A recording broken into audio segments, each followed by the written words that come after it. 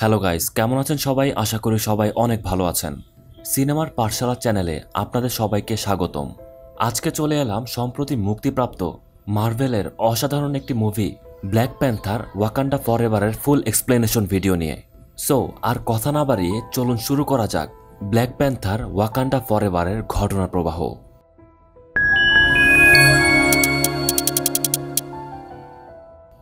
মুভির শুরুতে আমাদেরকে দেখানো হয়, ওয়াকান্ডার রাজা পিচালা ভয়ঙ্কর একটা রোগে আক্রান্ত হয়েছে। আর সেই রোগের চিকিৎসা তাদের ওয়াকান্ডাতে নেই। এদিকে পিচালার বোন সুরি অনেক চেষ্টা করে যাচ্ছে যে, কীভাবে তার ভাইকে এই রোগ থেকে মুক্তি দেওয়া যায়।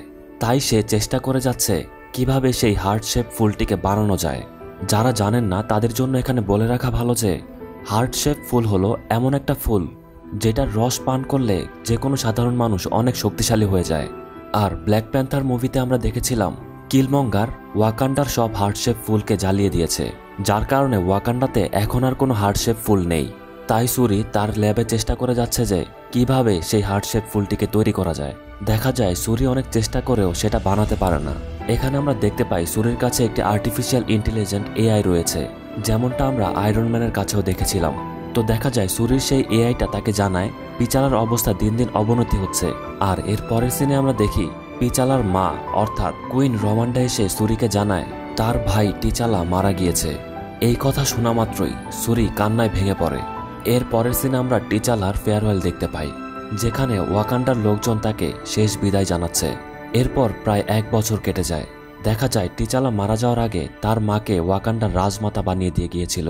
যাতে করে সে মারা যাওয়ার পরে তার মা ওয়াকান্ডার দেখাশোনা করতে পারে। এর পরের সিনে আমরা একটি শিপ দেখতে পাই। আর এই শিপটি হচ্ছে ওয়াকান্ডার একটি রিসার্চ ল্যাব যেখানে তারা ভাইব্রেনিয়াম নিয়ে রিসার্চ করে। কিন্তু দেখা যায় তখনই কিছু সোলজার ওই শিপের মধ্যে আক্রমণ করে দেয়। এই লোকগুলো মূলত এখানে এসেছিল ভাইব্রেনিয়াম চুরি করতে।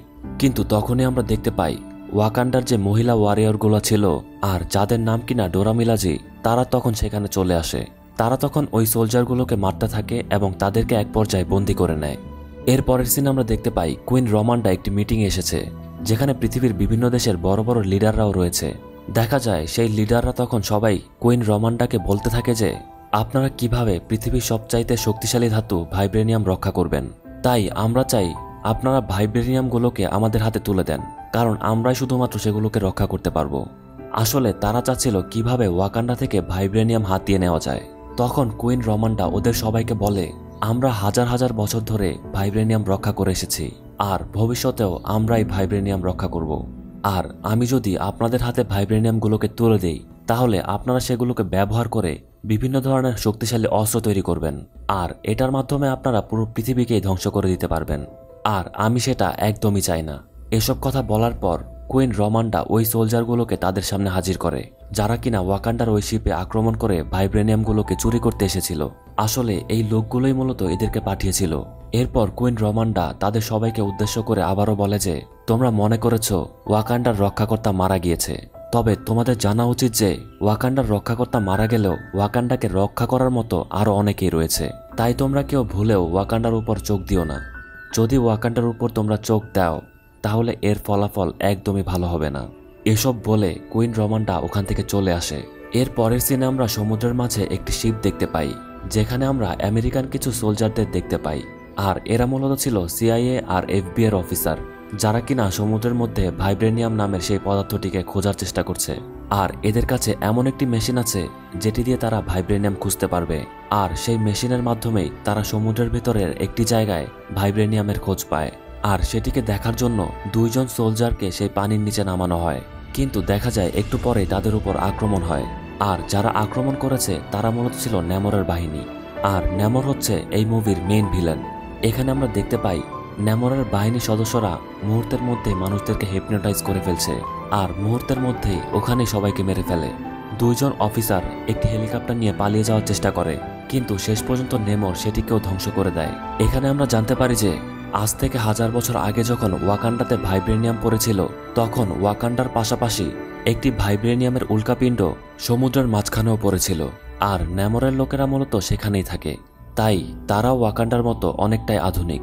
পরের সিনে আমরা দেখতে পাই, কুইন রমান্ডা তার মেয়ে সুরির সাথে দেখা করতে এসেছে। তখন সুরি তার মাকে একটি বিশেষ ধরনের স্যুট দেখায়। এরপর কুইন রমান্ডা সুরিকে নিয়ে একটি নদীর পাড়ে এসে বসে।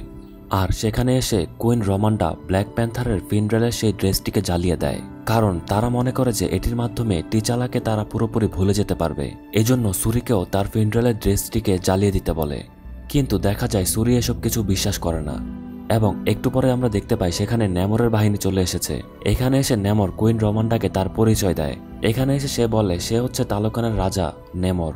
নেমর এখানে কুইনকে জানায় যে, যখন থেকে টিচালা পুরো পৃথিবীকে ওয়াকান্ডা সম্পর্কে জানিয়ে দিয়েছিল, তখন থেকেই পুরো পৃথিবীর মানুষ ওয়াকান্ডার ভাইব্রেনিয়ামের পিছনে পড়ে আছে। আর যেহেতু ওয়াকান্ডার পাশাপাশি নেমরের রাজ্যেও ভাইব্রেনিয়ামের অস্তিত্ব রয়েছে, তাই সে মনে করে পৃথিবীর মানুষ তার এখানেও আক্রমণ করে দিতে পারে, যেটা সে একদমই চায় না। এরপর নেমর কুইন রমান্ডাকে জানায় যে, আমেরিকানদের কাছে এমন একজন বিজ্ঞানী আছে, যে কিনা ভাইব্রেনিয়াম ডিটেক্ট করা যন্ত্র আবিষ্কার করে ফেলেছে। আর এই মেশিনের মাধ্যমে ভাইব্রেনিয়াম কোথায় আছে, সেটা তারা খুঁজে বের করে ফেলতে পারবে। এরপর নেমর কুইন রমান্ডাকে বলে যে, ওয়াকান্ডা এবং তালোকান যাতে এক হয়ে যায়, যাতে তারা একসাথে হয়ে পুরো পৃথিবীর উপর আক্রমণ করে তাদেরকে মেরে ফেলতে পারে।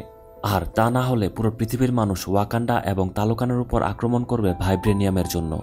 তাই সে চায়, পুরো পৃথিবী তাদের উপর আক্রমণ করার আগেই তারা পৃথিবীর উপর আক্রমণ করে সবাইকে মেরে ফেলতে। দেখা যায় কুইন রমান্ডা তার এই কথায় রাজি হয় না। তখন ন্যামর বলে, ঠিক আছে, তোমাদের কোনো সাহায্য করা লাগবে না। কিন্তু তোমরা আমার জন্য ওই সায়েন্টিস্টটাকে ধরে নিয়ে আসো, যে কিনা ভাইব্রেনিয়াম ডিটেক্ট করার মেশিনটি বানিয়েছে। এটার জন্য নেমর কুইন রমান্ডাকে এক সপ্তাহের টাইম দেয়। আর বলে যায়, এটা যদি তারা না করে, তাহলে পুরো পৃথিবীর সাথে তারা মিলে গিয়ে ওয়াকান্ডাকে ধ্বংস করে দিবে। এটা বলেই নেমর ওখান থেকে চলে যায়।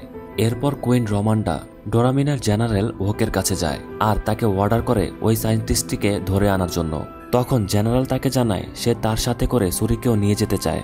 কুইন রমান্ডা প্রথমে তো না করে দেয়, কিন্তু পরে সে সুরিকে নিয়ে যাওয়ার জন্য অনুমতি দিয়ে দেয়। এরপর জেনারেল ওক সুরিকে নিয়ে আমেরিকাতে চলে আসে ওই সায়েন্টিস্টটিকে খোঁজার জন্য।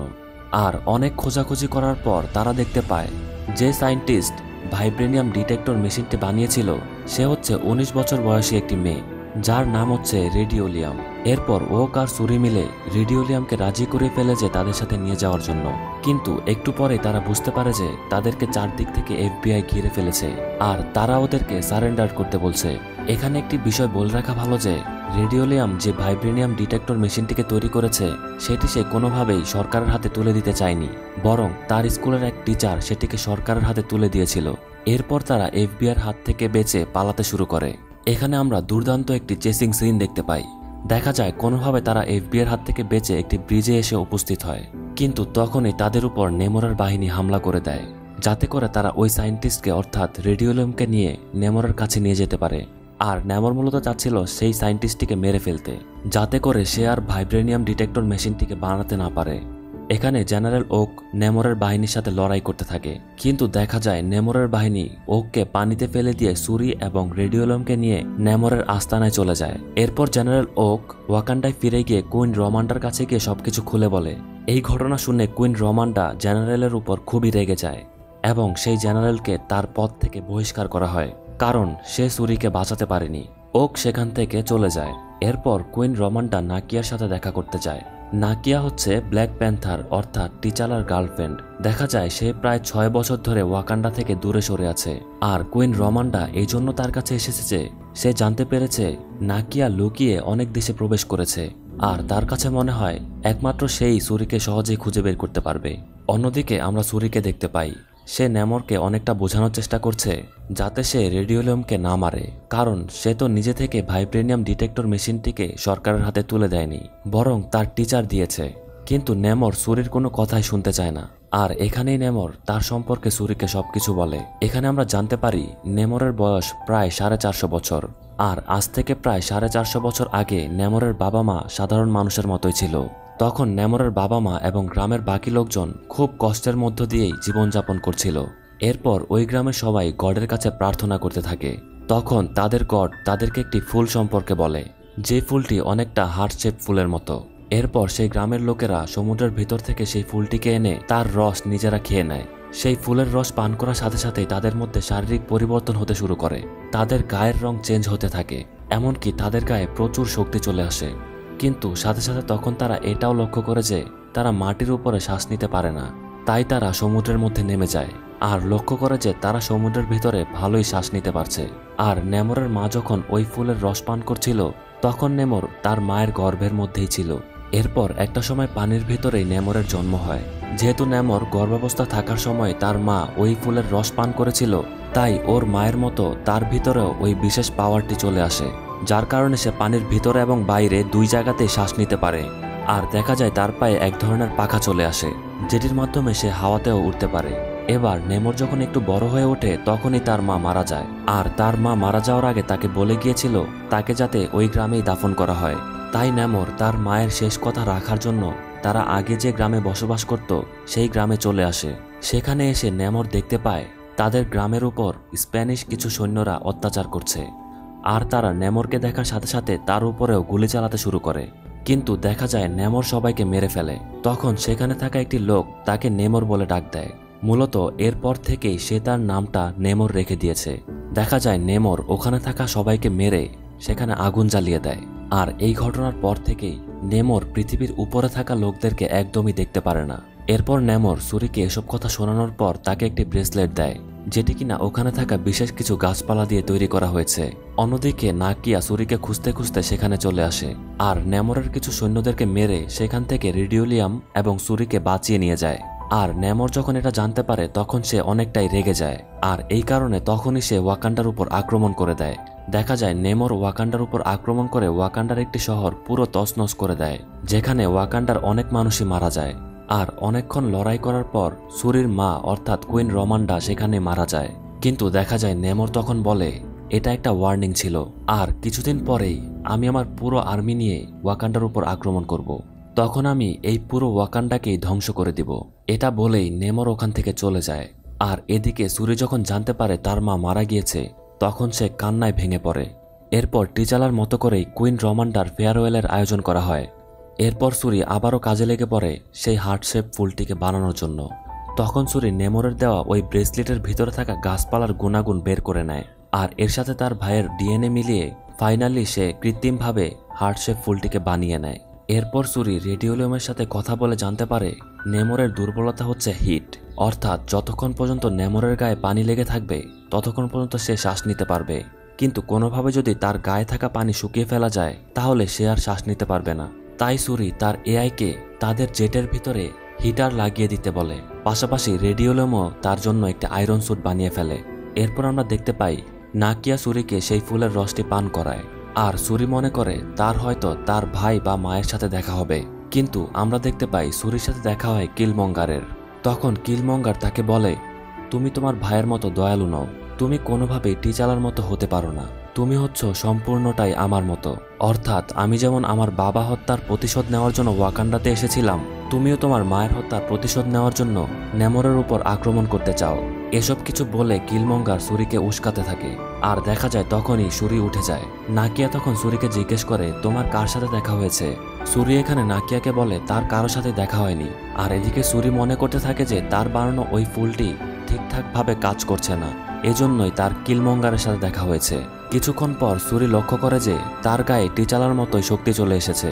এরপর দেখা যায় সুরি তার ব্ল্যাক প্যান্থার ড্রেসটিকে পরে উপস্থিত হয় অ্যাম্বাকোর সামনে। এখানে এসে সে সবার কাছে সাহায্য চায়। এরপর তারা তৈরি হয়ে যায় ন্যামরের সাথে যুদ্ধ করার জন্য। আর এরপর তারা ন্যামরের বাহিনীর উপর আক্রমণ করে দেয়। ফলে কিছুক্ষণের মধ্যে সেখানে একটি ভয়ানক যুদ্ধের সৃষ্টি হয়। এই লড়াইয়ের এক পর্যায়ে সুরি আর রেডিওলাম নেমরকে তাদের জেটের ভিতরে বন্দি করে ফেলে আর সুরি এদিকে তাদের জেটের ভিতরে হিটার অন করে দেয়, যার কারণে নেমর দুর্বল হতে শুরু করে। কিন্তু নেমর তার ভাইব্রেনিয়ামের তৈরি স্পেয়ারটিকে দিয়ে ওই জেটের ভিতরে আঘাত করে, যার কারণে সেটি পুরোপুরি ধ্বংস হয়ে যায় আর একটি জায়গায় এসে ক্র্যাশ করে। এরপর আমরা দেখতে পাই সুরি আর নেমরের মধ্যে ভয়ঙ্কর একটি ফাইট শুরু হয়। এখানে সুরি নেমরের পায়ে থাকা একটি পাখা কেটে ফেলে এই ফাইট চলাকালীন একটা সময় নেমর তার স্পায়ারটিকে সুরির প্যাটে ঢুকিয়ে দেয়। ফলে সুরি অনেকটাই জখম হয়ে যায়।